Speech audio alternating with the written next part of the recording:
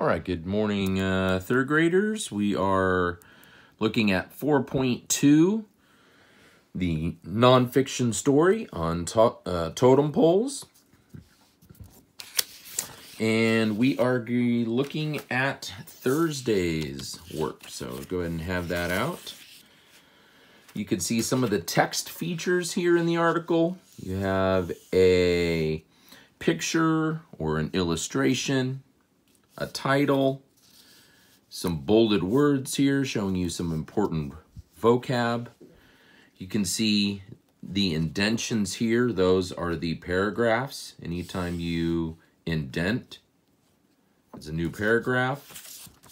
You have a table down here showing some important information. So those are text features. Okay, we're looking at Thursday. You only need to answer two of them. How does the picture in this article help the reader? Okay, the picture in the article, don't get lazy and not do copy QA. The picture in the article helps the reader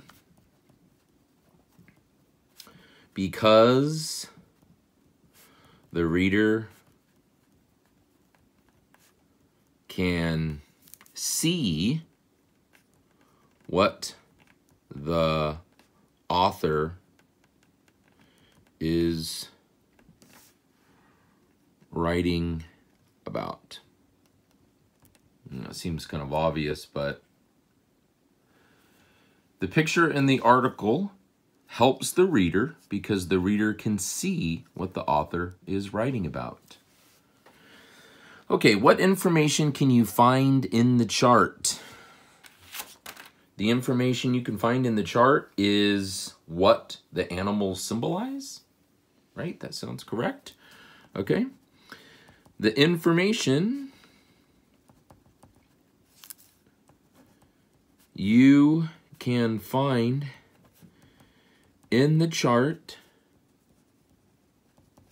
is what